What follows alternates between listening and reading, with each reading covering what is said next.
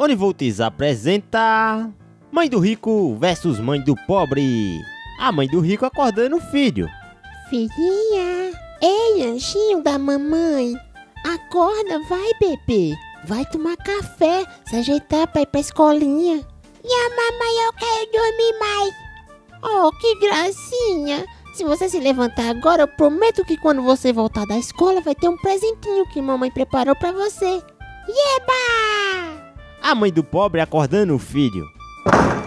Bora, bora, bora. Levanta, cuida. Ah, eu quero dormir. Jusvelino Escrisolênio, se você se atrasar de novo, você vai dormir muito. Vai dormir por uma semana depois do tapa que eu vou lhe dar. Ah, mãe, é chato ir pra escola. Sabe o que é chato? Eu ter que acordar de madrugada pra ter que acordar pra você ir pra escola. Quer ficar comigo e ajeitar a casa, filhinho? Lavar os pratos, lavar a roupa, limpar o banheiro, forrar as limpar as cadeiras. Agora que eu me atraso mesmo. Mãe do rico ajeitando a casa. Ah, fiz. Essa pia já se faz cheia de pratos de novo, poxa vida. O jeito vai ser lavar. Gertrudes! Sim, senhora Pitson. Lave esses pratos, por favor. Sim, senhora Pitson.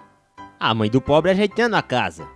Diabo dessa pia já tá cheia de prato de novo. Parece que usa os pratos até pra beber água e já joga essa bosta na pia. Mãe, quer ajuda? Pra quê? Pra você quebrar os pratos? Ou deixar os copos tudo com o resto de leite no fundo? Não, pode deixar que eu faço sozinha. Porcaria desse banheiro já tá podre de sujo. Diabo desse quintal só tem mato, ninguém limpa. Desgrama dessa sala cheia de poeira. Mãe, quer ajuda? Não precisa. Você nem vai saber fazer mesmo. Tá certo, mãe, eu vou assistir televisão. Ai, ninguém me ajuda nessa casa. Esses moleques só vivem assistindo televisão. Não lavam um prato. Um prato sequer. A mãe do rico no mercado. Mamãe, mamãe, eu quero uma bainha. Oh, meu Pepe.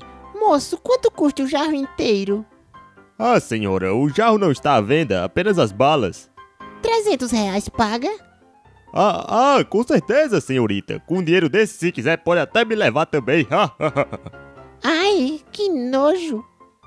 A mãe do pobre no mercado. Mamãe, mamãe, eu quero uma balinha.